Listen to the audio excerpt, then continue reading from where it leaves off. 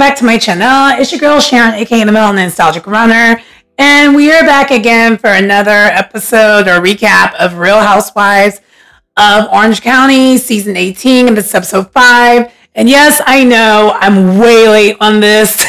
the new episode actually comes out, um, well, probably about time this posts later today, but better late than never, right? Right. I kind of already gave you guys a heads up that um, I was going to be late for the two weeks because of Summer Olympics. But now that that's over with, we're back. Um, anyway, so this episode was a cute episode. Um, it is picking up though. I will say that the episode is picking up.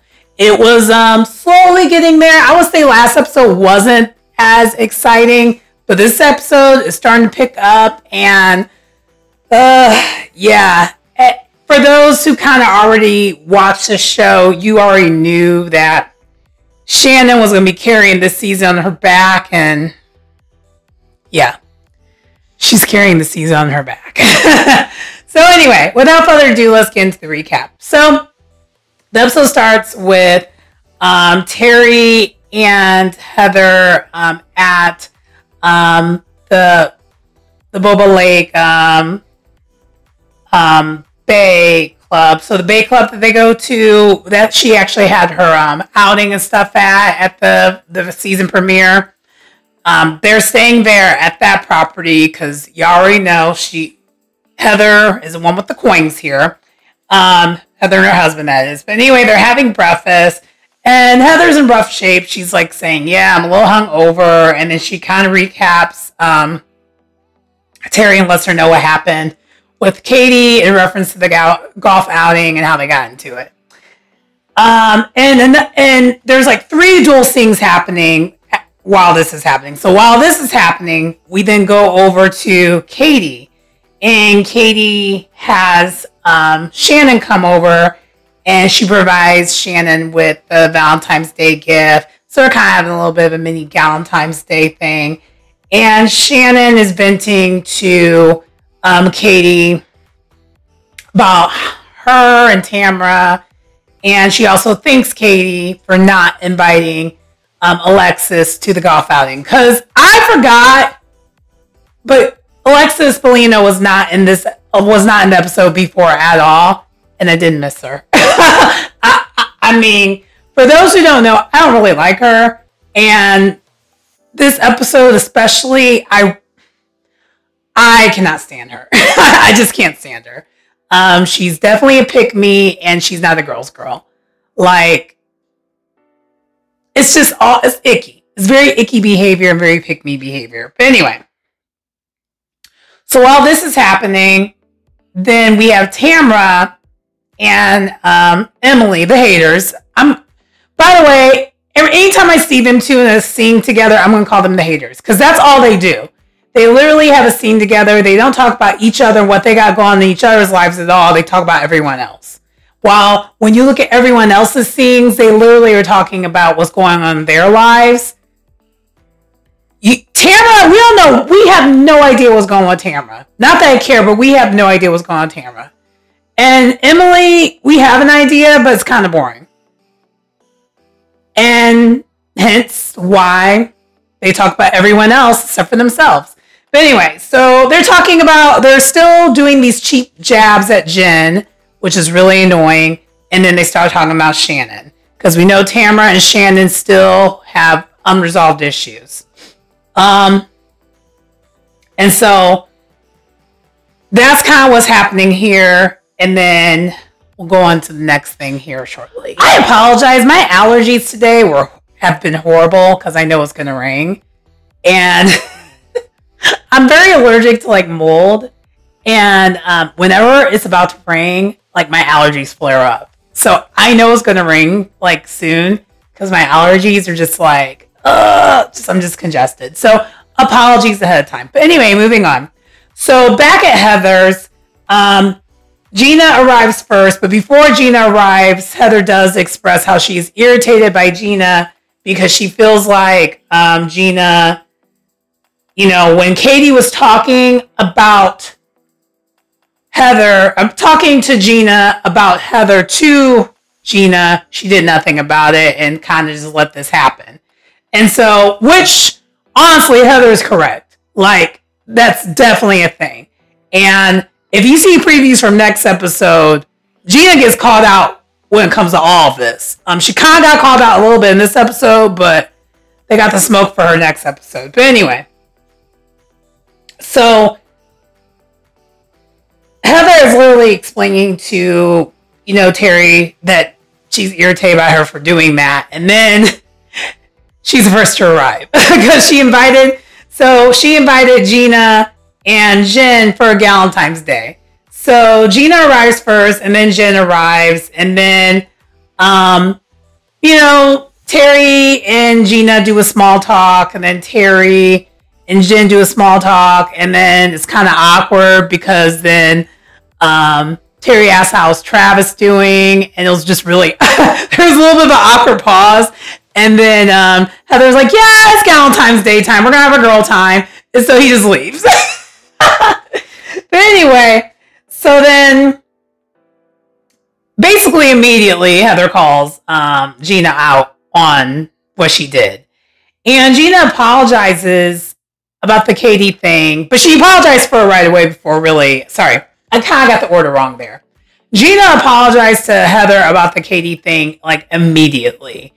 Um, and then after that, then we pan over to the other dual scene where we have Shannon and Katie talking more about it. And so Katie feels like she was kind of left hanging to dry by Gina because when you look at the scenes before, Gina first states to what like when Gina when basically um, Katie was at Gina's house, she said, "Hey, if you don't say anything to Heather, I'm going to." So she basically kind of egged her on and had her tell, you know, Heather.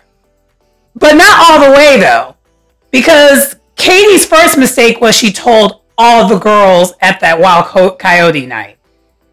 Because it would have never came up if she would have not told Tamra and Emily. But we know Emily already knew because Gina probably already told her because Gina tells Emily everything. So in a way, you the way you look at it, if you really look at it, all three of them set her up. It's just them two are the bad cops who just kind of made it obvious. At least you saw their play and you weren't really surprised. But Gina, who masked herself as being a close friend to you, telling you not to why you say something in front of all these girls, even though they kind of already had in their back pocket. Well, you know, Emily at least probably already had in her back pocket and then after that, Gina's like, why would you say something to the girls? And then from there, then far, far too gone, basically. So, I mean, really, Gina and Katie both are at fault here. But the way it looks, it looks like all three of them set her up. you know, because I think Katie is, she's a new housewife. She just she apparently she ain't watch enough reality TV to see the okey doke when it's coming. But anyway, so then Katie's basically expressing her expressing her frustration to Shannon about how Gina basically hung her out to dry. And then while this is happening, then you see Emily and Tamra talking about it and saying like, "Hey, I guess it's Katie's funeral." Like because um, Emily said if you're gonna, you know, go at, you know, um, Heather, you better be ready. You better be all together. You better have your, you know, all of it together. Um, and I mean, clearly she did, and she got frazzled. So, anyway, then from here, then we go back to Heather. Heather is still keeping her foot on Gina's neck, as she should, because you know Heather's Heather's been on the Housewives for a long time. She's like, I know what you did. And so Heather's asking all these questions to figure out how did all this happen? Like asking like, how long have you known um, Katie? When did you know about what Katie said? When did she tell you this? And right then and there, that was enough for Heather to see the plays like, so she told you about this months and months ago and you didn't check her then? And you're supposed to be my friend and I've known you longer? And you just met her through sudden? You're not even really friends with her like that? And while all this is happening, Gina's backpedaling because she does not she she got nothing for um for Heather. And and then Jen this whole entire time is watching the whole entire thing, but she she am I and I am her. She's clocking all this. She's like, man. She's like, I blame Gina. Gina set her up. like, even even like Jen caught it. She's like, yeah, I blame her. I blame Gina for that. She, yeah, it's gonna be interesting now moving forward because basically the dynamic of the group is already kind of messed up now because of that whole thing. But anyway, so because basically Jen, Jen can see that Gina clearly put the battery in and um, Katie's back to talk to Heather, but she then just left her there. Didn't come in, didn't try to mediate or nothing. Because if she truly was a mutual friend or really claiming to be a mutual friend of both of theirs, she would have came in between them and tried to mediate. But instead, she just let them do their thing and just kind of watched the fire happen. She kind of literally did a similar thing as what Tamra and Emily did. The only difference is Tamra and Emily didn't mask them as being good friends.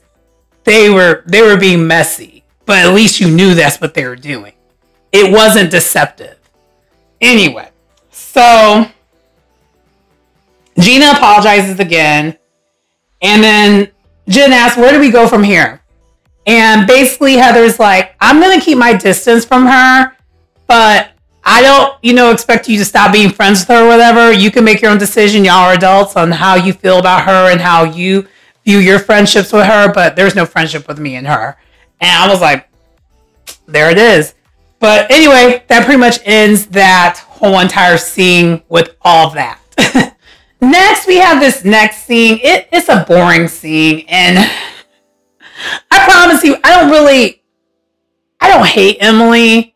It's just I don't think she should be on this show. She's kind of a hater, and she provokes people who don't deserve to be provoked She's insecure and she has nothing going on when it comes to the storyline.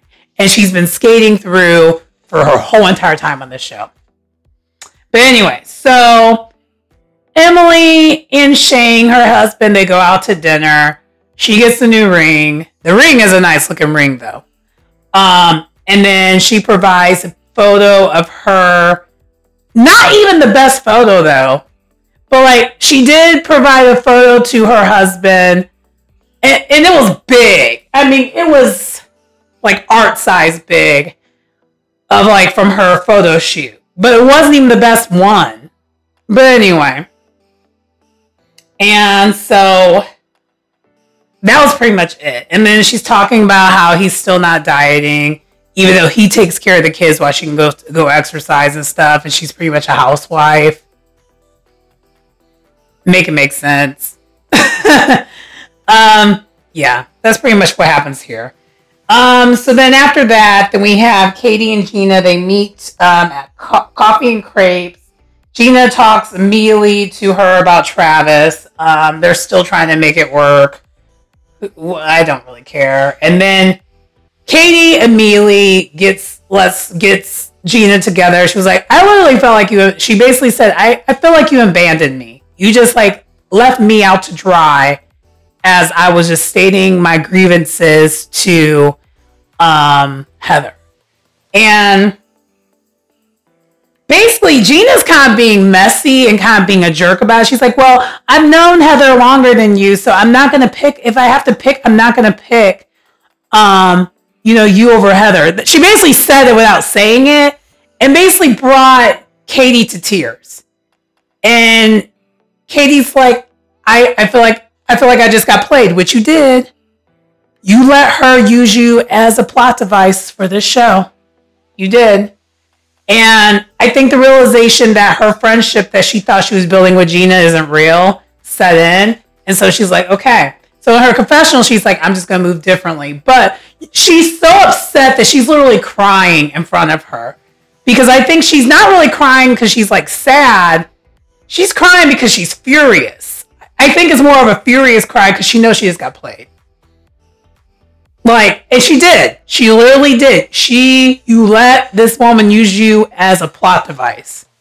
And now you and Heather probably, I mean, it's not real beef, but it's going to take a while for y'all to even get cool because Heather is the type where first impressions are everything. So it's probably going to take a couple seasons now if you're still, if you're going to be on the show for another season for y'all to even be cool because of what Gina did there yeah, you had your opinions wherever. And I mean, yeah, she lied about the paparazzi thing. Cause I'm sorry, I do, I do think she lied about it. But who cares? it's like, it's a mute point. It's a who cares.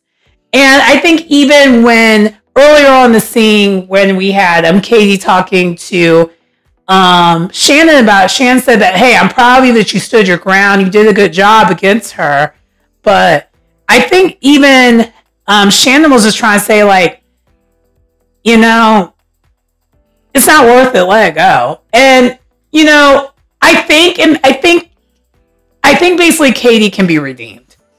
I think at the end, I think honestly, what Gina thought she was doing is going to backfire. They're all going to turn on her. And it looks like from next episode, that's what's happening. Everyone's going to start turning on Gina, which honestly, because I like Katie so far. So far, I like Katie. I think her and Heather just need to have a good like talking to. Maybe have Sun be the mediator because Sun's actually the one who's actually truly friends with both of y'all. And then dead it because this is stupid. Like y'all should not be arguing over whether she staged paparazzi pictures or not. Anyway, um, but yeah, that's pretty much what happened there.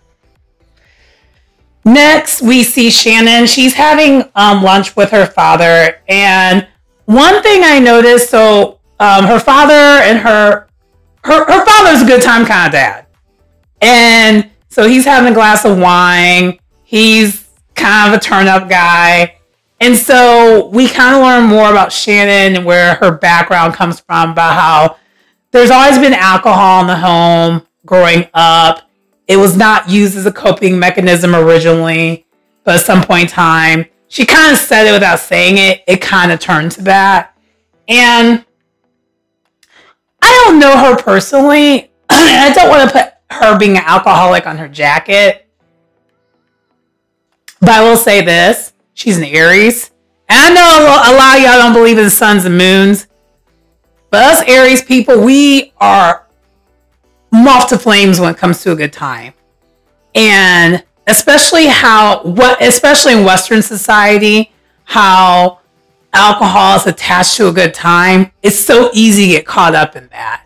Like I've had moments in my life where I've had a problem, but I wouldn't call myself an alcoholic because I actually twice a year, I go at least twice a year where I go like a month or two without drinking at all. Like I just literally decide to stop drinking just to get myself together and cleanse and whatnot.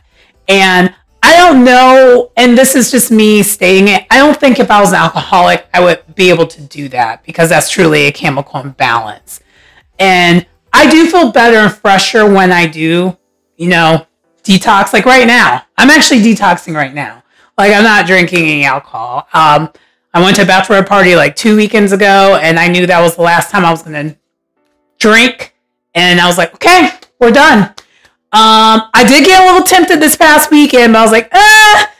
Especially today in this day and age, if you're in a major city, I mean, you there's so many NA cocktails or NA beers and stuff like that, so you can still be social and be out and about. And I think that's Shannon to me pins me as that type of person. She seems like she's a social drinker. I don't see her necessarily being a someone who drinks by herself she might do that when she's going through a depression.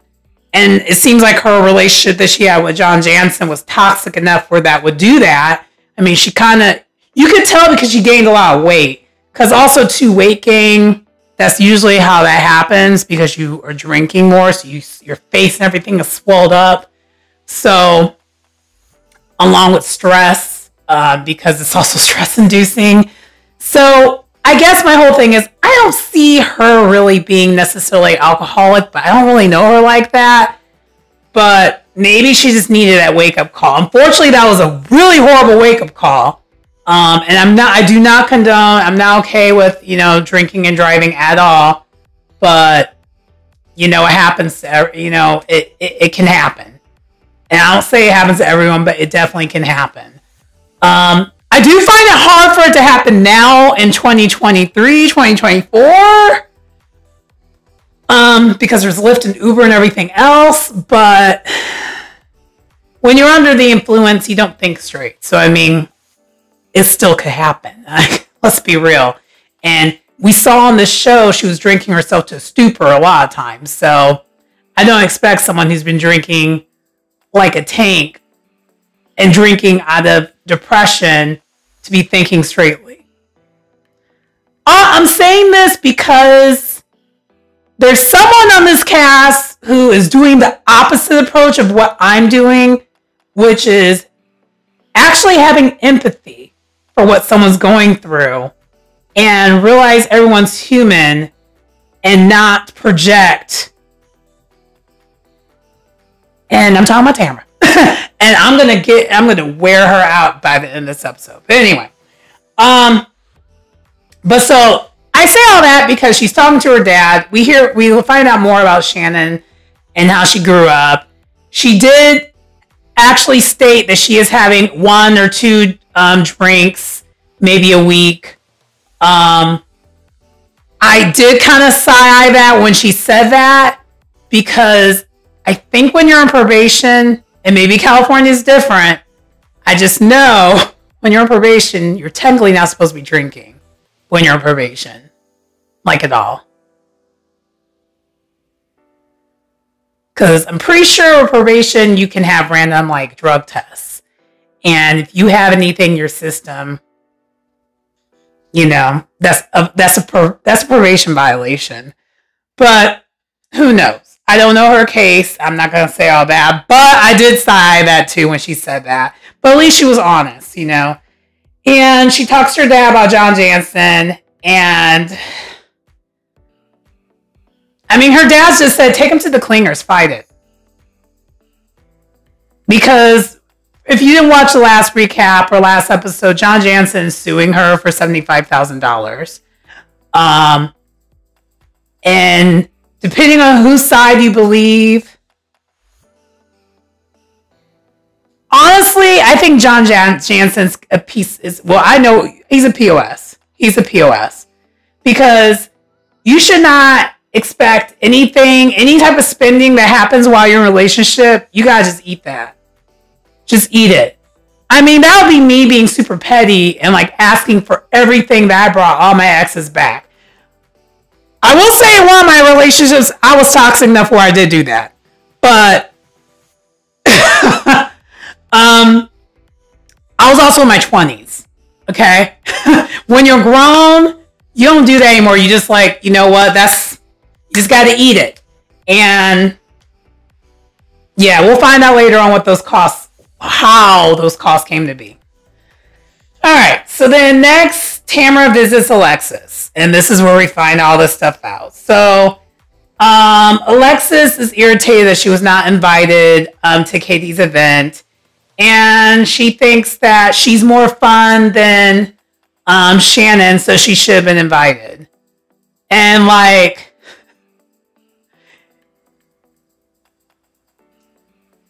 Alexis is really stupid.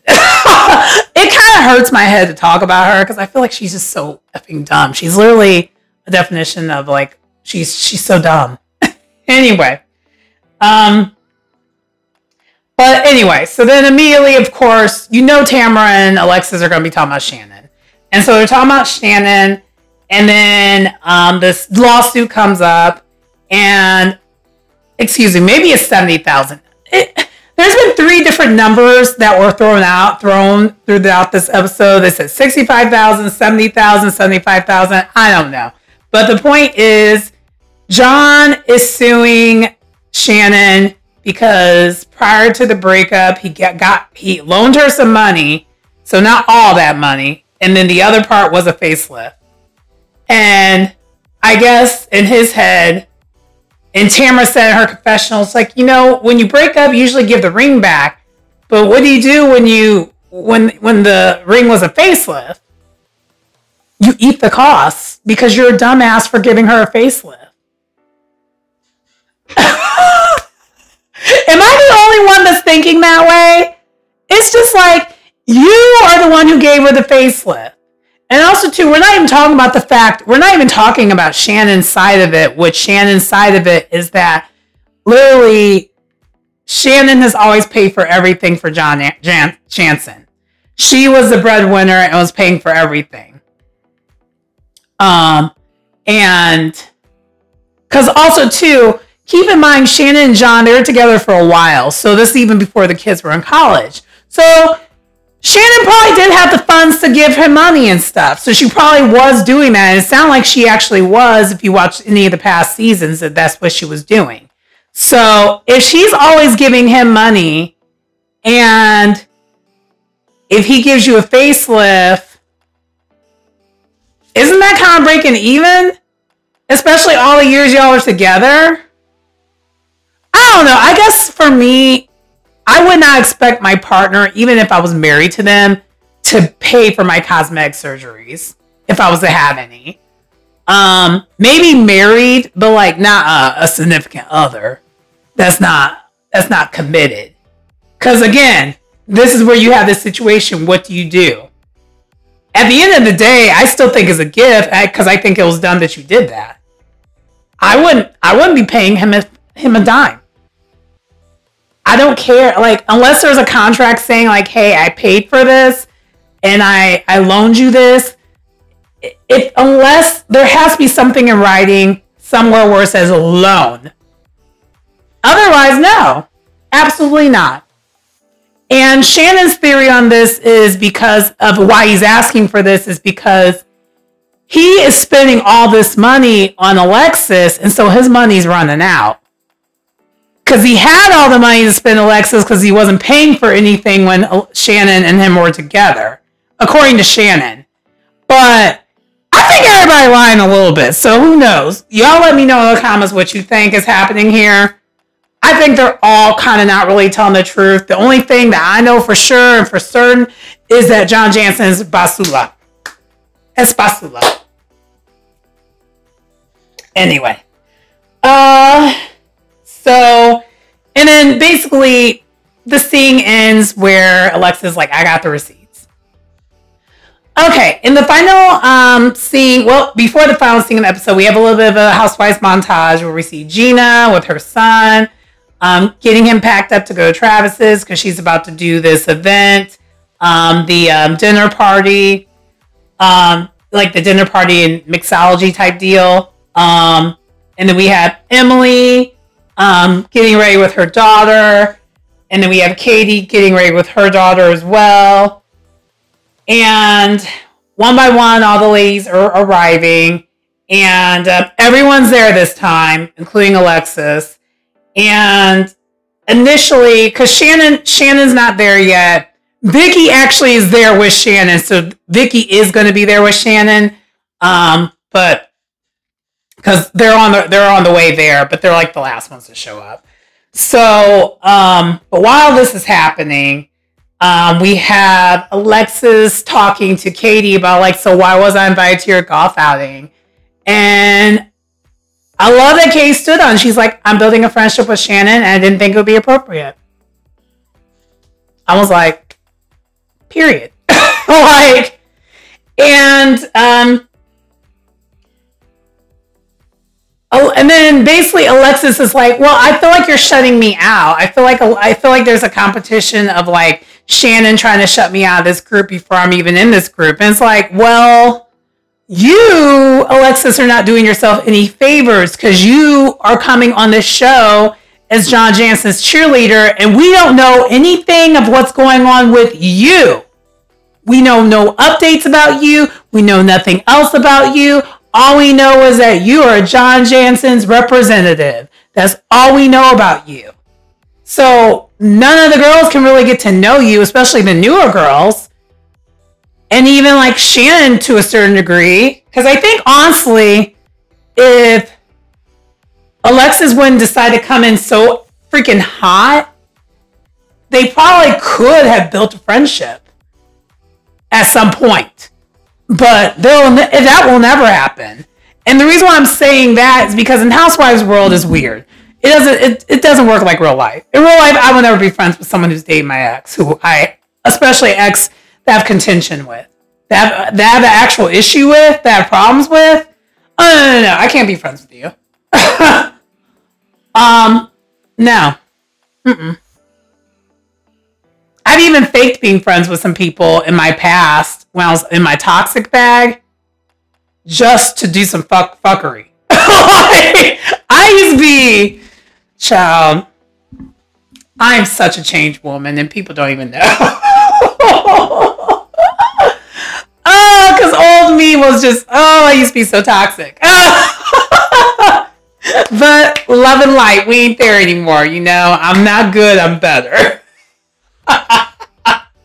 But younger me, yeah, I was a toxic girl. But anyway, so it this so after this and finally Shannon and Vicki arrive and Tamra's talking trash about them two the whole entire time, especially Shannon. She's just like, yeah, she had to come with Vicki because she needs backup so she could play victim. And side note, I forgot to mention, three of the women from Real House, three of the women on this show got new confessional looks, and I literally only like like one of them. Um, Shannon's is cute. She kind of looks like um, a legally blonde character. Like she kind of has that outfit on, and it's cute, and her hair is poofed up, and it's, it's giving Jackie O. I love it, a blonde Jackie O. Um, Gina, I don't know what they did with your hair, but no, absolutely not. And the and the dress, no. For someone who sorry, I gotta get on Gina real quick when it comes to this confessional look, because it's like for someone who's giving, you know, Jen such a hard time, at least Jen looks good. Okay? That's one thing you can't take away from Jen. Sometimes she wears too much makeup and it ages her, but outside of that, Jen be looking good. Okay? She don't look like she don't look like her finances. You still look like your old finances, friend. And I don't know why what that what that's about. That confessional look just ain't it. That's all I'm gonna say. And then at the dinner party, by the way, the other confessional look that Gina has been have been sporting for most of the season, Tamra's wearing that dress. And I'm sorry, Gina, but Tamra is wearing the dress better than you. I don't even like Tamra, and she's wearing that dress. She looks good in that dress. Um, and then Tamra's confessional look. I like the dress, but I don't know if I like it on her. Cause like her face looks beat. This part looks good, but then and I mean, I'm not to be ageist or anything, but I don't know what's going on with her arms like like I think like the tan, like the spray tan just was looking weird. Maybe if the lighting would have been different, I think that would looked cute. Because I like the dress, but I don't know if I like it on her. Um, and I like the hairstyle and the makeup that they did with it. But it just it, it was odd. Um, but I yeah. So that was the three new confessionals that occurred with all this. But anyway, let's get back to the the the end, the conclusion of this episode. So basically, immediately, once Shannon and Tamra, I mean, once Shannon and Vicki show up, Tamra immediately goes in on Shannon because Shannon decides she's going to have a drink. And it threw all the ladies off, by the way, because no one knew that she was drinking. Because, you know, up until recently, she was saying that she was trying to stop drinking. But now she's backpedaling, saying she's going to have a couple drinks. And Tamra immediately just lays it thick on her. And she also feels a way that Vicki's there. She feels like Vicki's enabling this behavior. And immediately she just starts calling her an alcoholic, just starts humiliating her. And it's just like, Tamra, Tamra, come here. Come here. It's time for me to get you together. If she truly has substance substance abuse issues, what you're doing, I'm not even gonna mix words because this this channel ain't monetized yet. Is fucked up. It's fucked up.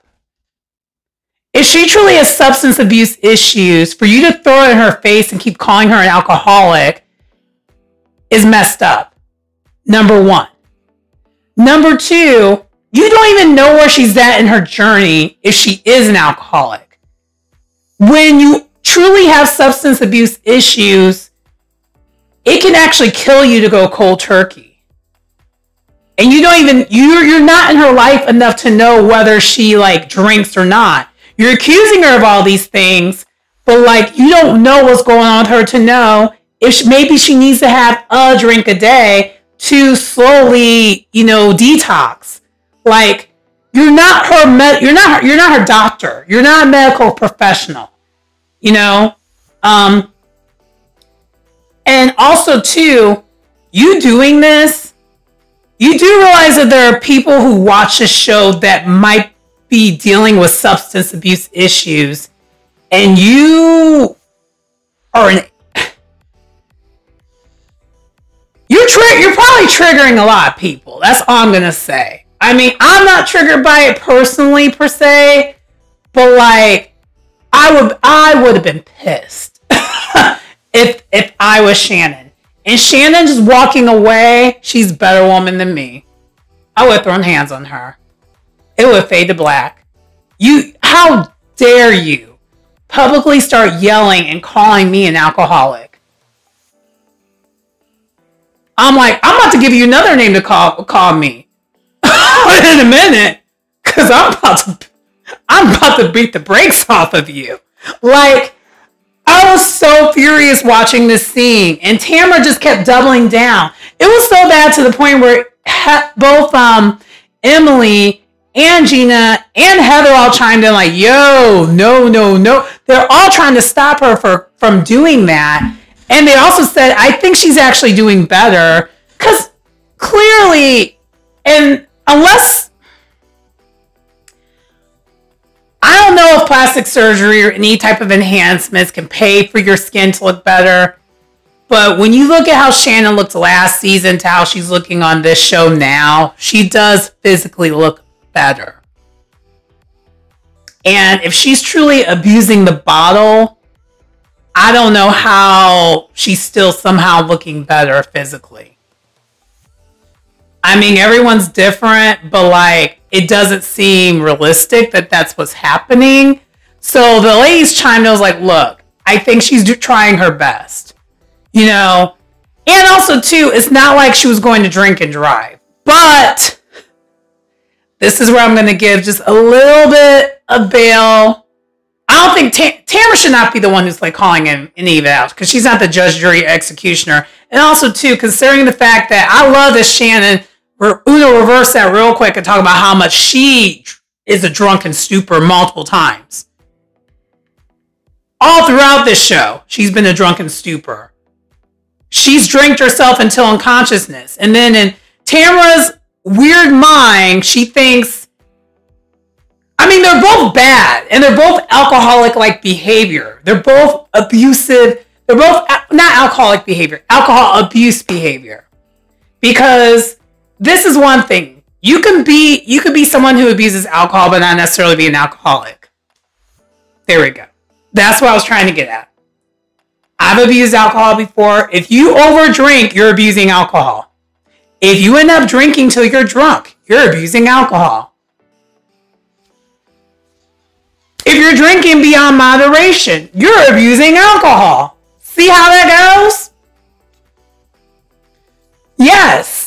Shannon's actions, what she did afterwards was messed up because she endangered herself amongst other every um, amongst other people. She could have killed herself or someone else. That's true.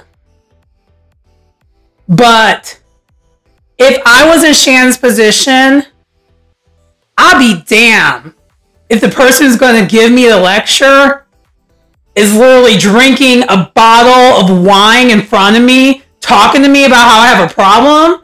If you don't get the, if you don't get my face, like you can't be high and mighty when you aren't really. Last time I checked, the only only judge. I know your last name is Judge, but you you're not really a judge, Tamara. Okay, I just I just need you to know that. But anyway, so that Shannon ended up getting really upset, and after after Tamara doubled down on it, then somehow, some way, Vicki and Tamara start getting into it a little bit because Vicki's like, I don't have a personal problem with you, but I don't like how you handled the Tres Amigas thing. And also, too, you just kind of left your friend to dry. You're not treating your friend right. So you have two completely opposite end of approaches of how the friendship is. And I will agree with this. I do agree with Tamara to a certain extent. I do, do I think um you know Vicki's kind of enabling her a little bit. A little bit. But I think Vicki understands what am I doing babysitting a grown woman? She's an adult, just like I am. Tamara is taking the complete opposite end of the spectrum to the point where it's toxic. You're, you're it, it, it doesn't translate as you're being a friend. It translates as you're being a mean girl and you're just trying to just make things worse. Because one thing I will say is she really was an alcoholic. What you did at that dinner did not do her any favors. What do you think her coping mechanism would what do you think her coping mechanism would be or you know with you doing all that? Last time I checked, every time you meet up with Shannon, it's not intervention, okay? And who brings wine to intervention? Like, sorry, I'm all, I'm thinking about Always Sunny in Philadelphia because they the intervention episode. If y'all saw it, you already know, but they're drinking wine in a can while they're giving someone an inter. That's not funny, but sorry, I have a dark sense of humor at times. Sorry. Anyway, so that's all happening. And then from there, Tamara starts mentions John Janssen's lawsuit in front of the whole table. And by the way, everyone's just dead silent. And I love Jen and Kate's Katie's um, banter back and forth because they're the only ones that are eating the food. And they're just like, yeah, because Katie's like, does this happen every every dinner? And Jen's like, yeah. She's like, the food's good. She's like, yeah, I know. And so they're just on the side, enjoy the food. And they basically are just like the popcorn, My, Michael Jackson popcorn meme. That's them too. They're just like, ain't got nothing to do with us. Um, which is kind of messed up, but yeah.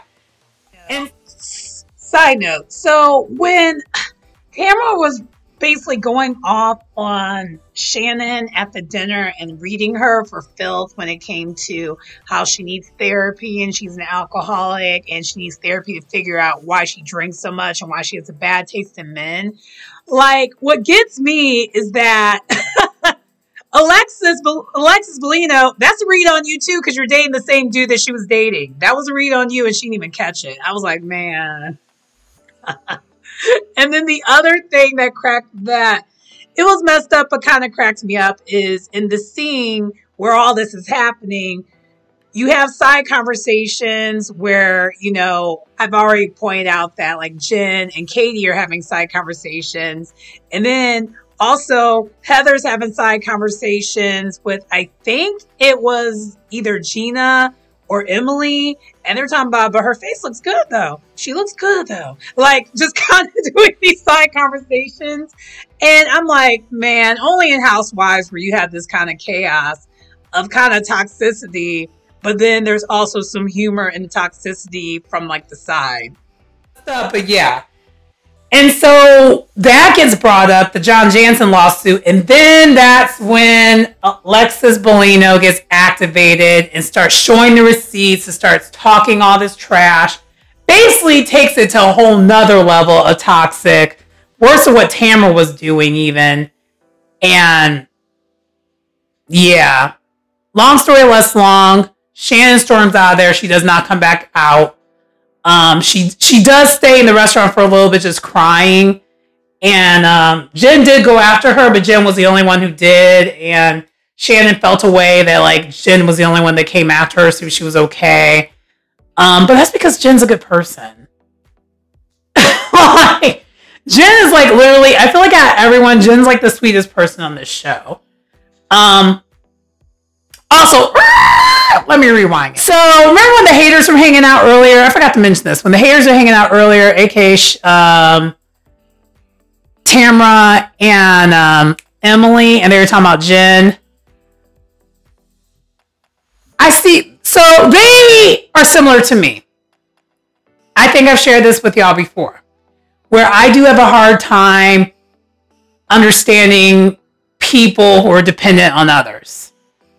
Um, but I also don't beat people when they're down, when they're dependent on others. I just hope that they'll change.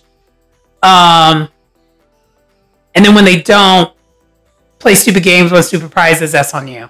But, you know, or if it works for you, okay, cool. If you like it, I love it. It just can never be me. But, um,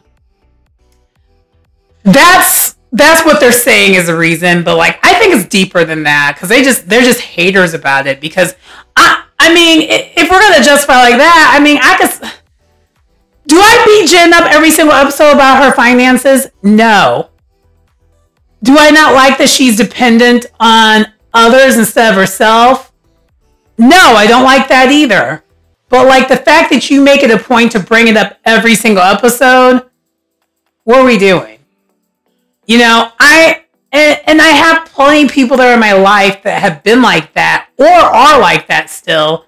I don't bring it up every chance I get. Why? What's the point of that? Unless you're hating. So I just wanted to bring that back up and bring it around because I forgot to mention that. But anyway, so while this, so while Shannon is out about to leave, then we have um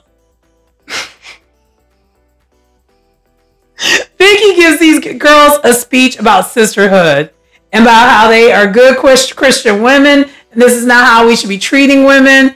And all the women that are confessionals are all shading her. They're like, this is rich coming from Vicki, of all people.